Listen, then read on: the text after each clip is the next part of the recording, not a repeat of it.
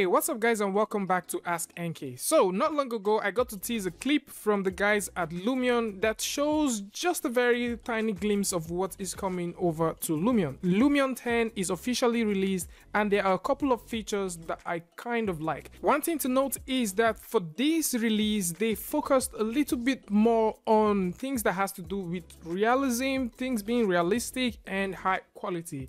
There is no much talk about performance, but then let's just get right into it. So for the very first one is displacement. So I'm kind of a huge fan for anything that has to do with displacement and the guys at Lumion have gone ahead to add materials that now support displacement. So if you're getting a copy of Lumion, you will be having about 167 brand new displacement materials that you can work with. These displacement materials are mostly from Poliigon. So the guy at Poliigon or the guys at Poliigon have gone ahead to actually create materials that support this displacement. And I think for some reason, for the other materials that exist in Lumion, now you have the ability to actually work with displacement in them. And speaking about materials, Lumion now comes with a brand new set of 134 new materials. And all of these materials have displacement baked into them. And these materials are 12 new soil materials, which include sand for the beach and some other stuff. There's also 9 rock materials, 10 exterior materials that has to do with metal, concrete, stone, and three indoor tile materials. And all of these materials, according to the guys from Lumion, they do support weathering, soft edges, and foliage. But one thing which I kind of noticed is the materials don't really have so much of a tiling when it gets to do with edges, especially if you're working with things that don't really have UVs in them. So there is a trick around that that has to do with you weathering either the edges or using some sort of plant or you know some artifacts to just cover it up.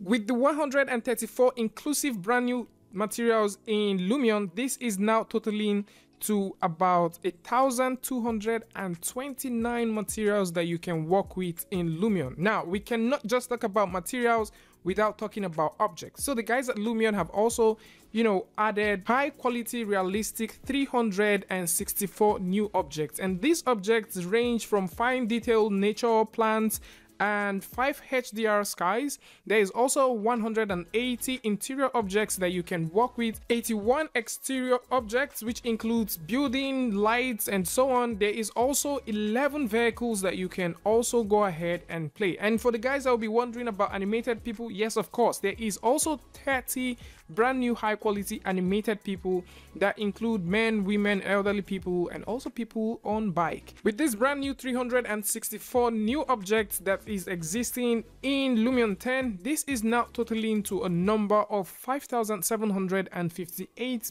you know contents that you can get. So it's quite obvious that you can easily now get very realistic rendering. I mean, these guys are going for hyper realism now and speaking about things that are hyper realistic, they've also added a fine nature detail feature. Although this feature is pro only, but the thing with this is that you can now see up-res version of your models, especially for the brand new models that have been added.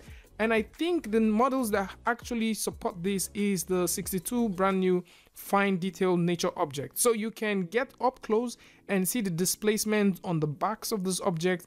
You can literally see wind moving these things. And this on the other hand is going to be extremely extremely heavy. Of course the final rendering is going to be super realistic but at the same time with these fine nature details in your scene is definitely going to slow down both render time and performance. So what i would suggest is if you want to work with these you can bring them up close and for the ones that your camera would not see you can put the low poly versions at the back you know, and just get something very moderate. Now, moving on to something else that actually makes me smile. So this is something that has already existed in Twinmotion before and for some reason I think it is also very cool to actually see coming over to Lumion which is the height map and this time they are not just bringing in height map from the OpenStreet but you can now get height map with real context renders directly in your scene and this doesn't just come with the context alone but it also comes with landscape so with this feature inclusive, it is going to be really, really easy for you to replicate real world scenes and also real world landscape when you're making your architectural visualization directly in Lumion. So still speaking about landscape, it's now extremely easy to paint you know, placement directly in Lumion. This is also something else that reminds me of Twinmotion and now you can go into Lumion with some selected objects and you can go ahead and simply paint with them. So you can use the paint placement brush to sweep through and you know create thousands of trees around your landscape and at the same time you can also choose to delete them.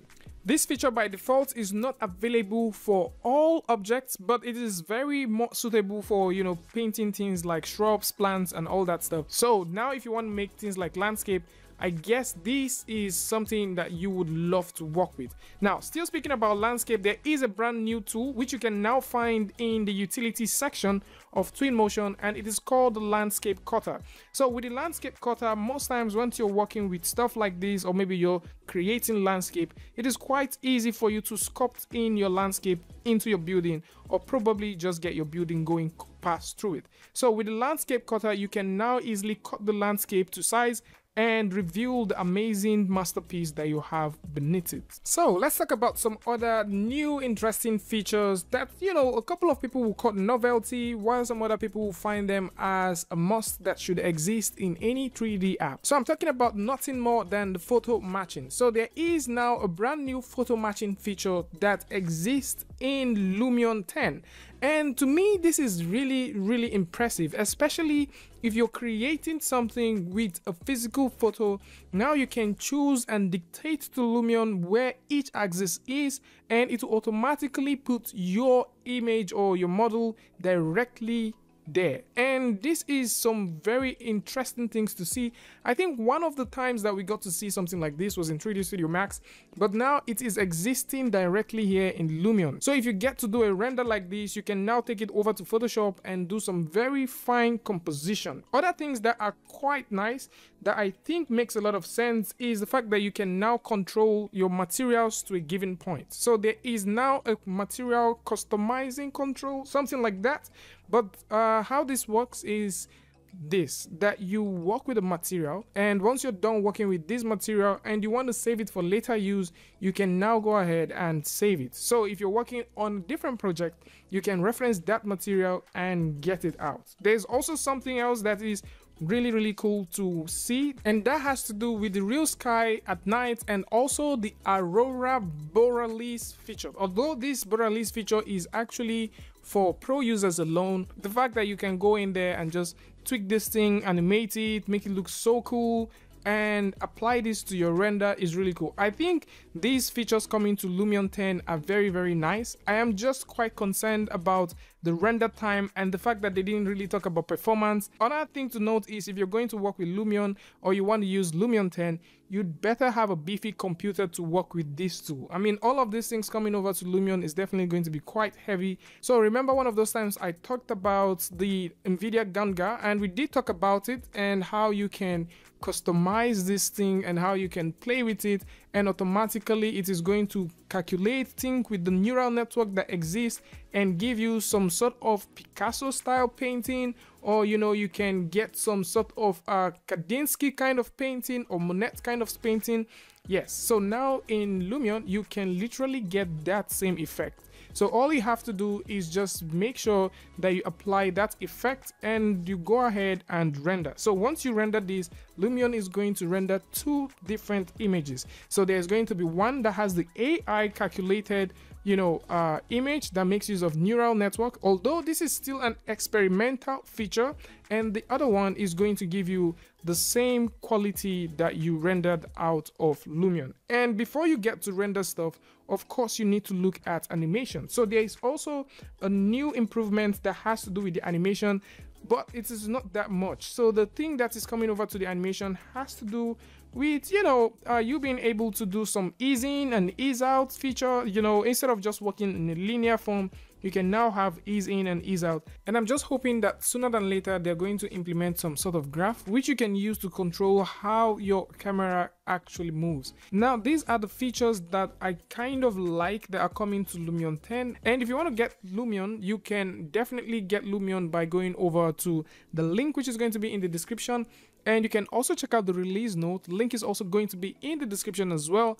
And if you want to get a free version of Lumion, there is an available, I guess, 14 days version that you can get and you can go ahead and play with it and see what you can do with that.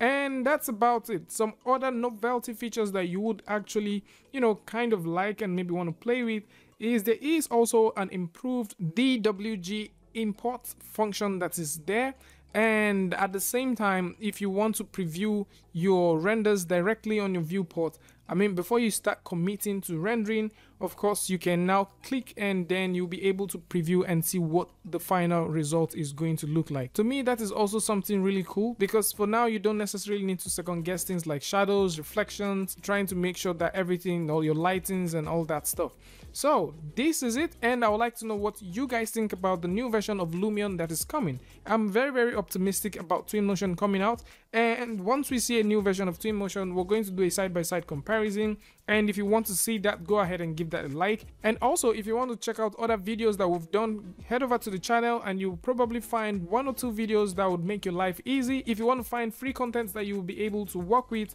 there is a link in the description that will take you over to the playlist and you'll be able to find those things. Now tell me what you guys think about this in the comment section and if you like this video you know what to do. Go ahead and give it a like and don't forget to turn on notification and if you're new here it's going to be amazing if you can hit the subscribe button and also turn on notifications so you don't miss the next video or the next upload. And until I see you guys again with a tutorial update, Free Friday, Tutorial Tuesday, tips and tricks, things like this. Peace.